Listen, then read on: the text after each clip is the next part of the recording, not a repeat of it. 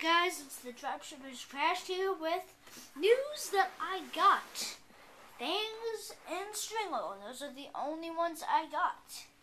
So, the reviews will be coming really soon. I'll be seeing you guys some other time. Enjoy this 20 second vid. Bye.